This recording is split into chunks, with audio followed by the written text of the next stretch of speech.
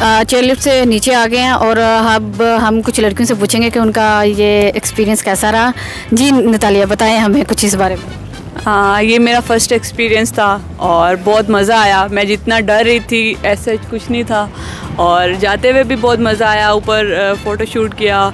और वैसे भी मस्ती की इंजॉय किया बहुत मज़ा आया इस चीज़ का। जी बिल्कुल। अब हम आ, आलिया रियाज से पूछेंगे कि वो हमें थोड़ा सा अपना बताएँ कि उनका कैसा एक्सपीरियंस रहा और वो ऑब्वियसली अभी भी होश रह रही हैं तो मेरे ख्याल से उनका बहुत बेस्ट रहा।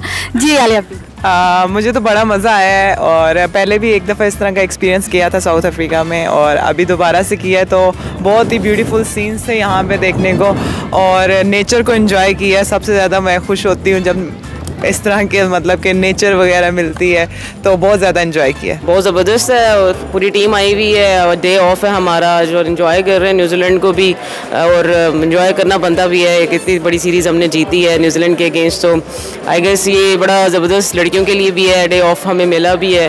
और बड़ा इंपॉर्टेंट होता है एक प्लेयर के लिए भी कि जब आप क्रिकेटिंग लाइफ से थोड़ा सा हट के भी आप कोई एक्टिविटीज़ करो, बड़ा इंजॉयबल भी होता है। और लड़कियों को एक दूसरे से मिल बातचीत करके इन्जॉय करने का मौका भी मिल जाता है। Plata.